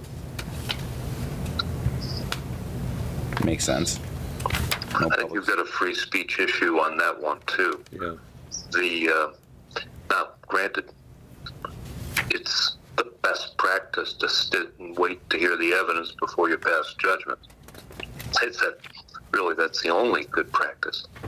Um, But there are circumstances where the, uh, the, say a developer is coming in for something that's controversial in the community.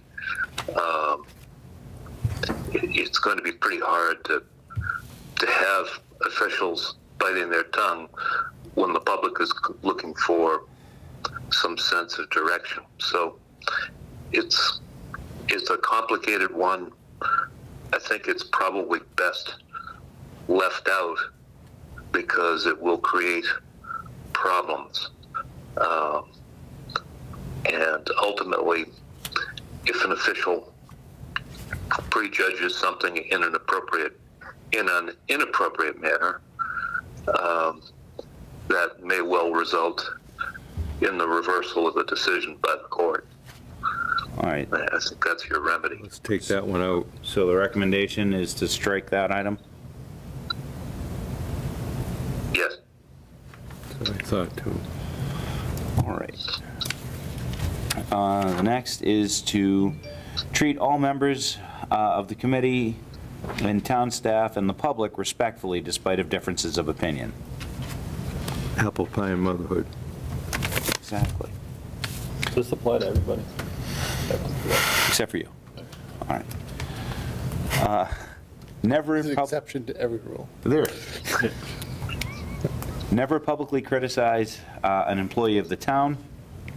Uh, Concerns about staff performance that affect The committee, in the performance of its mission, must be discussed in executive session and voted to be brought uh, to the town administrator. Uh, In formal written communication or similarly to the superintendent of school for the school department staff. That's fair. It does, um, I do think maybe there should be a catch-all in case um, there's a concern regarding the town administrator or the superintendent of the schools, that there be um, an elected body or le- leaders that they can go to, should that person not be comfortable Well, it's connecting with. Isn't that already in place, though, Tim? Yeah, if it was an issue with the town administrator, they'd come to us, and if it was an issue with the superintendent, they'd go to the school committee. Well, I, I would know that, but if I'm relatively new on a board and I wanted to file a complaint or start a discussion, um, that's fine. I'm not going to argue too much about it. I just thought that it be put in writing that we, um, at the end of the day, be available to people that may have a complaint. No, I mean, if you're sitting on a board or committee, I think that you'd probably want to start the process by bringing it to the chairman of that board. And then that issue would then go to the chairman of the appointing, you know, or the whole board of the appointing authority. And then kind of go from there, like, kind of chain of command thing. Maybe we can write something like that out. Yeah, I mean, originally, the way this was written, it included a, uh, an escape hatch that I didn't think was necessary. The superintendent and the town administrator are both evaluated publicly as a matter of law. Ah. So there really isn't, you're not going to be cutting off access for that evaluation process for your two chief administrators. This is about the boards and committees and how they conduct their activities. Because we still have the policies and procedures besides. That kind of makes sense. Um,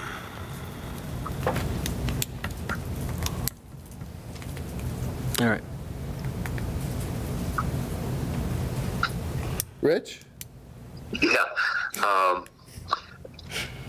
I, I know what uh, is being sought here, and I think I might come at it a little bit differently, which is something like this, where there, where there is a concern about the conduct or performance of a public employee.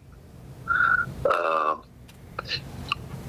uh, an, an official shall refrain from public criticism and instead shall refer the complaint to the town administrator or school superintendent for appropriate personnel action.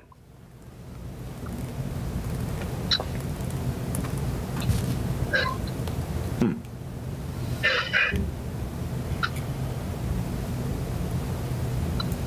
Makes sense. Yeah, I thi- the, what we're, the, there's a square we're trying to circle, or a circle we're trying to square. Which is, what if it's the superintendent or It- You administrator? you may have a member, a board with seven members on it, Yeah, and six people are perfectly happy with the staff support that supports their operation. But you got one person who just has a bee in their bonnet and grabs the microphone every time they have a chance and hammers the town engineer. Just hammers the guy, every time he comes to a meeting. Or doesn't come to a meeting. It starts to look like when, when a board has an opinion, it should express that opinion as a body. So if you go into executive session, there's that conversation, and you, you have to invite the person, by the way. It's an open meetings requirement, that if you have an executive session, you have to invite the person that you're talking about to have a conversation with you, which they can decline, by the way. But you're giving a, you're making it so that one member isn't running away with the prestige of the board and casting the relationship with staff in a negative light, because that's what they want to do for whatever reason, while the rest of the board, it- it's a lot harder to drag compliments out of people than it is to drag complaints. So the rest of the board may be perfectly happy with the site plan review notes or whatever the town engineer takes, right? That's what I'm trying to protect against, is this, this notion that meetings turn into an ambush for anybody who's trying to take make recommendations on policy matters with a small minority of the board.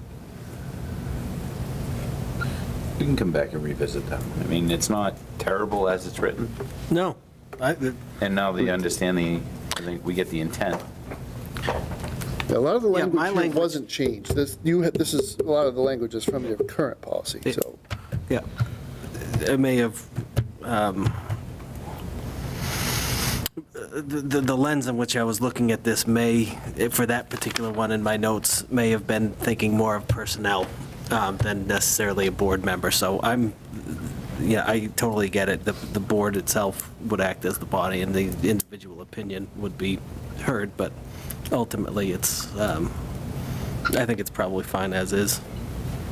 Okay. Moving on. The other ones are struck. Yeah, the parts that are struck, I'm kind of Yeah. omitting out, just what's still there.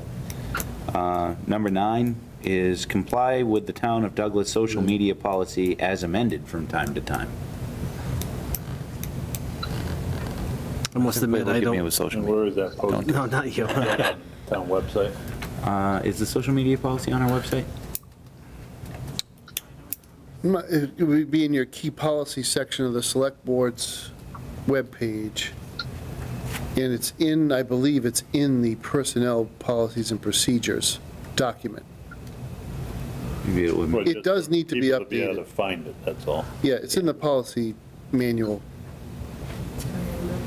It's on our Facebook page. Yeah, I think there's nothing wrong with that. Of course, the, the devil will be in the detail of the actual social media policy, but that's a different discussion. Right. All right, are we good on the social media side of it? Are you good on that? I am perfectly content with it. You're a social media expert.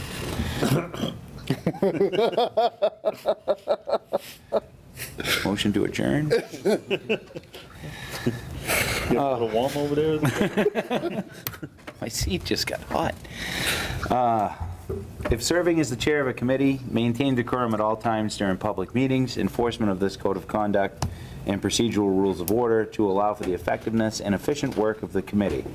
Committees shall not meet for more than two hours or past the hour of 10 o'clock PM, whichever comes first, without a motion and a vote on the record to extend the meeting beyond those limits.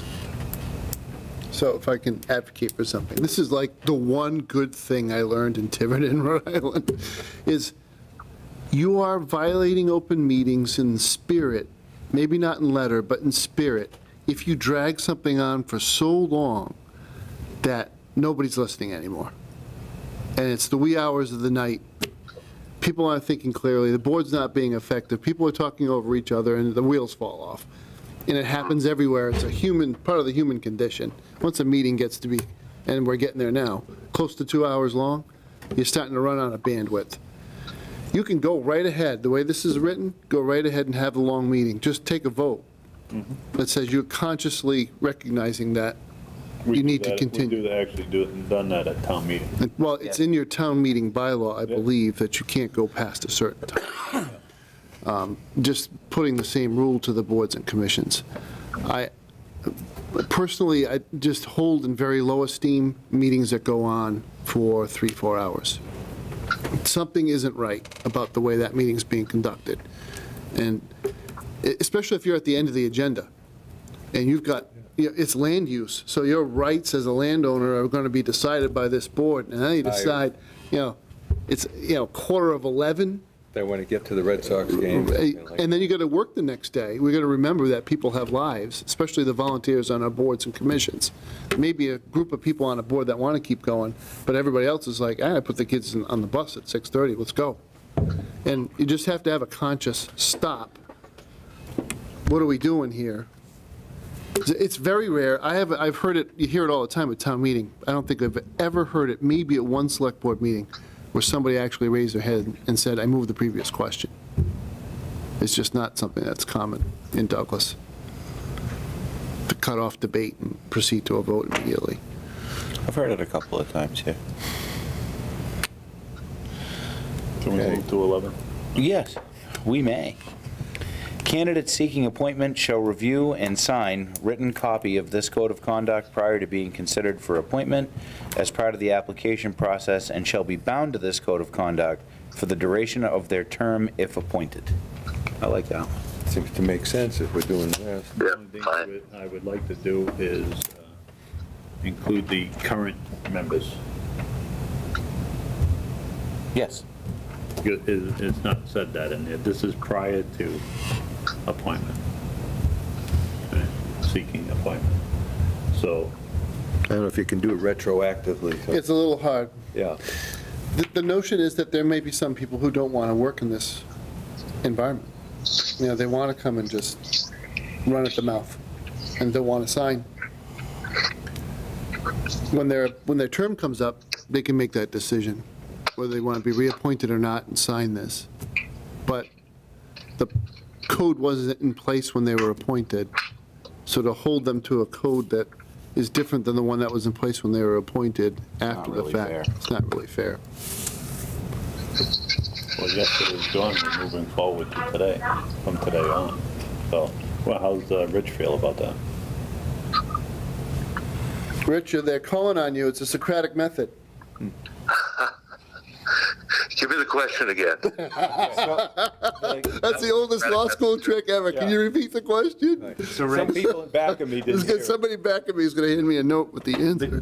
The question is, is the way that this code of conduct is written is for new people um, looking to be appointed and, and take office on any one of these boards or committees, Or reappointed. or reappointed. Well, actually, that part was kind of Matt explained. Yeah. So for the existing members that are currently sitting on these boards, um, Mike wants to know how we can implement that out to the existing members as a code of conduct change, or do we have to wait until they're up for reappointment to expect them to be held to these rules? I think you have to wait till it's up for reappointment for the existing people. You have to add that language to this, this reappointment's not in this language. I put reappointment in too. And that is, uh, that is all of them, which we have, I think Matt's been taking copious notes on edits with That's the for you, Rich. low fuel indicator. Get some gas, Rich. Well, All right, so we've reviewed, Can we- can we let Rich go? uh, we need him for the next Alright, one, Oh, too. okay. Are you going to stay with us, Rich, or are you going to, you want us to call you back for executive session? uh, yeah, why don't you give, call me back? We needed Okay. him for the next one. Wait, the next one, what's the next? Discuss remote meetings with chairs and legal counsel. Oh, all right. Yeah. Rich, you can't go anywhere. Oh, all right. Kevin insisted, just so you, for the record. I insisted because it says, discuss remote meeting with chairs and legal counsel. I let, you're still legal counsel, right, Rich? Uh, uh, last time I checked, yeah. Oh, okay then. All right, so we're back to the never-ending discussion on remote meetings and uh, remote participation in meetings uh, for boards and committees. And we kind of keep running into, the, the state has put out their own form of guidance on some of this, like case in point, the school committee is continuing to meet remotely. Um, They'd got an opinion from the Attorney General's office that said that we do not have the authority to tell them that they cannot Oh, no use kidding, really? remote participation. Then what's the point of talking about it? Well, I think the situation we're dealing with on that one is uh, ordinarily under the pre-COVID uh, regulations, we have a lot more power to dictate to other boards, uh, and in fact, which boards can meet uh, remotely. Uh, so prior to the governor's first declaration, we could have said, well, selectmen can do it, but, you know, pick another board. They can't. When the governor adopted the COVID order uh, and then renewed it in uh, June, uh, he specified that all boards could participate in the remote system. Now, once that order expires, uh, we, we go back to the old system, uh, where only those boards that you approve can participate. But as long as the governor's order remains in effect, uh, everybody can do it. Yeah, if you want, I can read off to you what she had sent. It says, "After further consideration and review of both the Attorney General's open meeting law regulations and the new legislation regarding remote meetings, we believe that a public body such as a select board does not have the authority at this time to prohibit the use of remote participation by other public bodies. Because because public bodies are not required to adopt remote participation before utilizing it, sections 940 CMR 29-10-3 and 29-10-8, which allows entities to restrict the use of remote participation, are not applicable at this time. Yeah, that that's kind of what I was saying. The the key words in that uh, discussion are at this time, and what that phrase "at this time" means is during the duration of the governor's COVID order. So, with that being said, I guess, in my mind, it makes sense, we just table this until the COVID order comes to an end. Yeah, one, and one thing that Rich said was, um, the boards and committees that we decide. Matt had told us before, um. It's all or nothing. for us whenever we did, it was either all or nothing. And so is it Actually, I all or was nothing, forwarding Rich? Rich or- Bowen's opinion. Yeah, is it all or nothing, Rich, or can we allow, because we have certain boards like the uh, library trustees, the Oktoberfest committee, um, different committees like that that don't have any over that public now. input, and they would prefer to meet remotely if they could. Can you split it up and have some meet and some not meet? You know, I've been giving some thought to that particular issue, and uh, some of the most recent uh, writing on that from the Attorney General seems to suggest that we can designate which boards can meet remotely and which can't. I mean, setting aside the COVID order. So, um, Can we leave it up to the discretion of the chairs? Uh, well, you could adopt a policy uh, that conferred that kind of discretion, sure. Okay. I think we should consider waiting, doing anything till COVID's and let, let the boards do that. Then we'll have more experience as to whether or not we want to continue it once the. But allow them to do remote and. Yeah. Yeah. Yeah, Yeah. yeah. So uh, right now, we could do it at the discretion of the chair and then Yeah. See how it works, if it's working. Yeah, and that will have more evidence to see if we want to continue it once that's over. What are your thoughts, Matt? I'm so beaten down over this issue, and so many people who are providing guidance have reversed prior guidance that I just don't want to fight it anymore.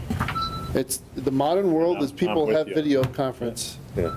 and My why argument- fight change? Yeah, My argument's still the same as the difficulties that we run into with, um, with the zoning board for one, uh, just being able to have clear information and making good, good judgment. It's Still the same.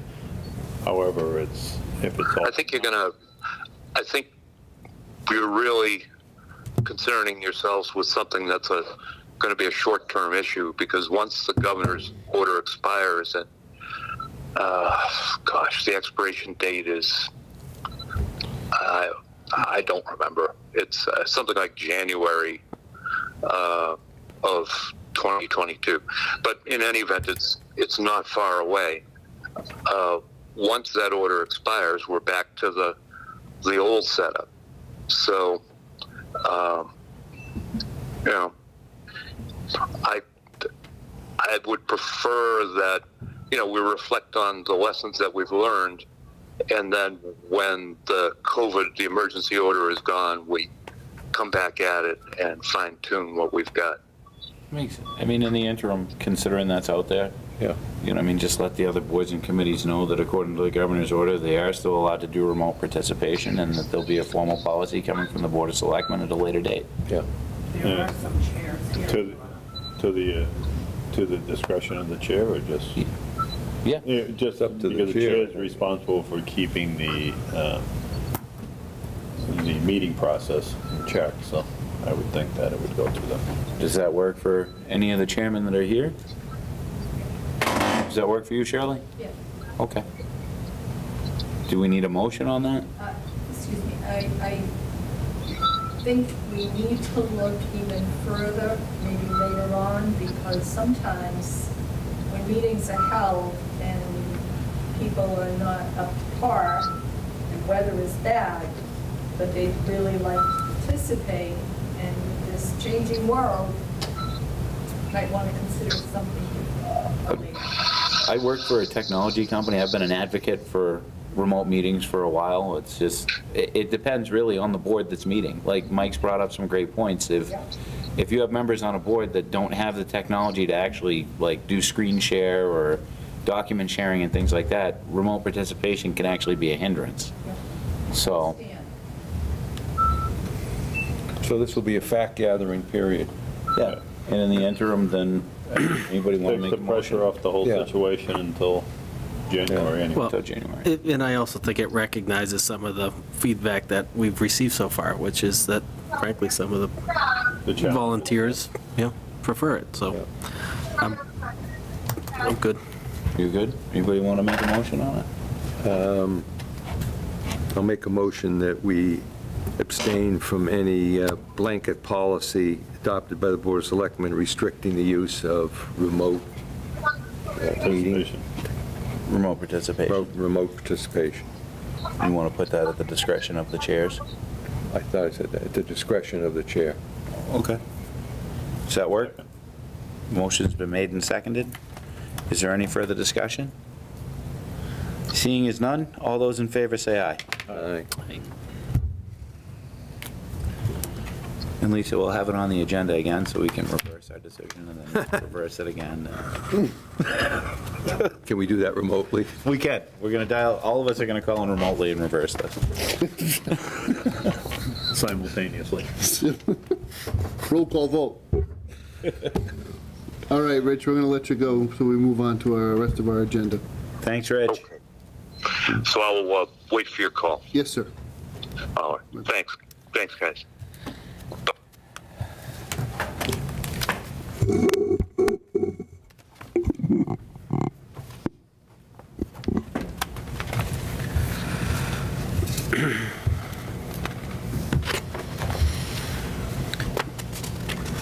I will make a motion that we approve the August 24th, 2021 minutes.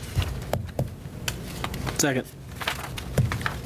Okay, motion's made and seconded. Any further discussion? Seeing as none, all those in favor say aye. Aye. Aye. I will also make a motion to approve the executive session minutes for August 24th, 2021, and retain those minutes. Second. All right, made and seconded. Any further discussion? Seeing as none, all those in favor say aye. Aye. Aye. Your report, Mr. Administrator. I'm going to blast through it quickly. Uh, Earlier, we had a conversation about 911, and it is the 20th anniversary this year. On the municipal level, we respect those who died that day by implementing the lessons we learned from that crisis and from Hurricane Katrina, and locally from the Station nightclub fire in Rhode Island with respect to emergency response and the premium value on communication and organization. Um, We all have sympathy for those who lost people that they loved or that they knew, and we should remember that. We should also remember that that's the reason why we, I'll get my soapbox for five seconds. You can shoot me if you want to, but um, America can't shrink from its role in the world, and we send people into harm's way to protect a form of civilization that provides for due process and equal rights and a lot of things that we believe in. And there are people who don't like that. And they tried to hurt us that day. They tried to undermine the core of our existence. And we should take that lesson and just come back stronger every time somebody tries to hurt us as a country. Uh, Superpowers need to be resilient. And part of what we learned was when, when we got people running around at a horrible scene, um, we have to make sure they have the tools they need to do their job, which is what we try to strive at, municipal government. Secondly, COVID, we're at, a- at or about, because it changes every day, about 18 active cases in town that are reported, which is, that's actually back at our surge levels. Again, family groups, couple of large families, couple of large social groups that have been very busy with COVID over the past couple of weeks. We haven't had any deaths, but it is still a real thing for, especially for those who expose themselves to risk factors. Um, Right now, we're not anticipating any policy change with how we're responding to it. Uh, We're still doing screeners, screening questions when calls come into dispatch for medical assistance. We are investing CARES Act funds, because they are still valid through December 31st, for personal protective equipment, uh, which we've distributed to the library and the senior center, and I'm waiting to hear from the schools. I know that they need some, some- some, uh, blah, blah, supplies over there that I have in inventory that have already been purchased uh, with CARES Act funds. What's the definition of an active case, both that the feds are reporting us? Is it somebody that, if somebody tested positive but no symptoms, is that considered an active case? I think that's the way we're dealing with it. So it's a confirmed, approved test format, which is no longer just the PCR test. I think you can do a rapid test with Binax, and, but that's a confirmed case that goes into the database. Regardless of whether symptoms, regardless of whether they're not Correct. hospitalized, et cetera, okay. Um, I wanted to touch on a success and then talk about what next steps will be. The town applied for an Assistance of Firefighters Grant, which is a federal program, uh, for a brush truck. Brush truck that was in fact on the capital plan for the fire department. May not have been the highest priority, but it was on the plan. And no kidding, the existing truck is 49 years old. So it doesn't hurt to have it on the capital plan. We don't take things out of order because we want to. The way grants work is you apply to the grant-making authority for what they make available for the purpose that they designate. And if it appears in your plan at some point, it is actually, in my opinion, dereliction of duty not to apply for that grant. Yeah. So you may accelerate this or that purchase into a new, a closer time frame because frankly, somebody's giving you money, and that's why you do it. Um, It's a shame that not everybody understands that, but that's the way it is. The cap on a brush truck is a quarter of a million dollars. They won't award you more than that. And then, of course, there's a, there's a 95-5 split on, on the funding of it. So the actual grant is, I'm not going to round out to the hundreds of dollars. It's 230, bless you. Thank you. $238,000. And we're in the process now of pricing out the exact spec that the fire department wants on the brush truck. Brush trucks are very, um, they're plug and play. You can put a lot of different things on a brush truck, and it's up to the chief, assistant chief in the department to spec the product that they want to buy. When we get to a certain point, we may have to add things as add alternates and see where we get in the bidding process. It's a chicken or egg, right? It's, it's unlawful for the procurement officer to go out for a procurement if the funds are not all secured for the purchase. So even though we have the majority of it, the grant, until we know that town meeting approves anything additional, I really can't go out. So we're going to have to figure out how, a a graceful estimate quote process from a couple of vendors to get a ballpark figure and then ask town meeting for the appropriate amount of money. Uh, And we're going to have to do that on the November warrant. So that's the plan. Um, There's a placeholder for that? There's a placeholder for that.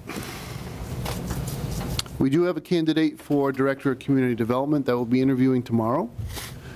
And I'm hopeful uh, the candidate meets all the minimum requirements, but we're not going to precast the result of the interview. Um, We're following the same interview process that we did last time. The chairs and in some cases, vice chairs of relevant committees that will work with the department head, as well as the staff that work in that office, participate in the interview process. And I'm not looking for unanimity, but we are looking for as as strong a consensus as we can get. Be mindful of the select board's specific instructions to the town administrator were not to recruit specifically only engineers.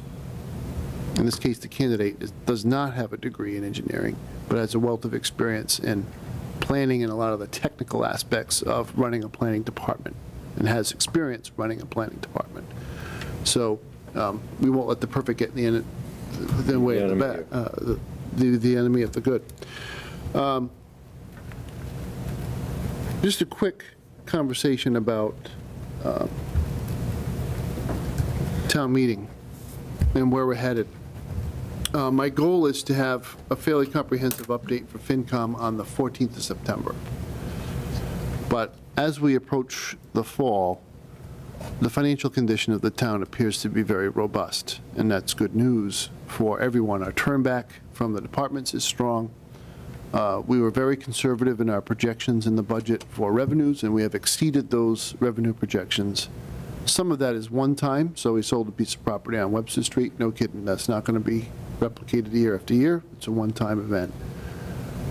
We are on a trend with the building industry uh, is very strong. So we have a lot of permit fees that have come in that were well over anticipated levels. And then lastly, new growth is very strong. So new growth was certified at $345,000, which is a very significant impact to the budget, not only this year, but going forward, because that's added to your levy projection for next year. So um, you have more flexibility in looking towards your future than you've had in, in quite a long time. And it's a good thing, but it's also, it becomes more intense conversations about how to, the resources are still scarce and you still have needs.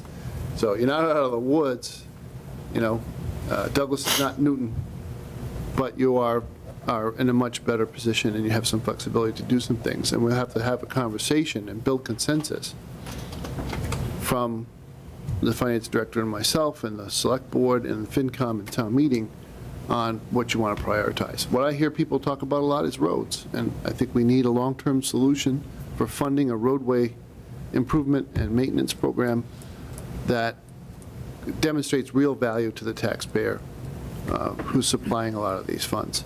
So we're going to try to come up with some creative solutions um, for adoption at spring town meeting, not the fall. That's all I have for a report right now, Mr. Chairman.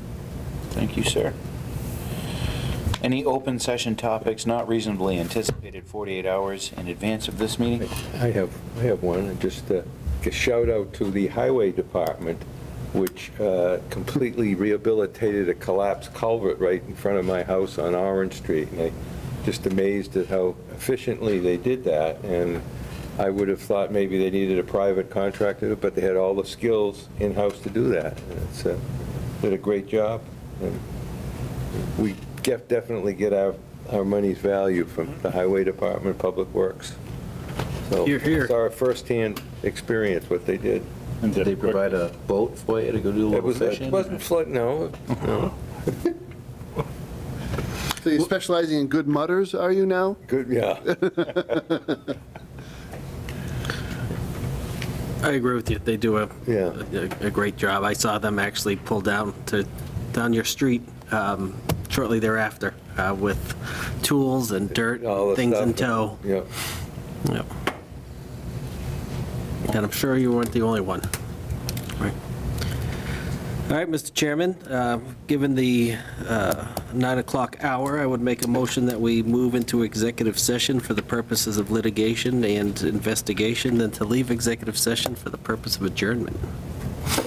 Boy, was that smooth. That was a Really good one. was. Yeah, it's worth hearing again. I get like goosebumps. You get one a week, You see? Goosebumps. one a week. Second? The motion has been eloquently made and seconded. And and it was a nice bed, uh, much better than the rendition that Kevin came up with when you weren't here. Oh, yeah? Oh, God, yeah. Yeah, it's like years ahead of See, mine. it's, it's, it's- We're in an age of specialization. you're making me blush. Can I have a roll call vote, please? Fitzpatrick, eh? aye. Bone and I. Morris, aye. Eh? Davis, aye.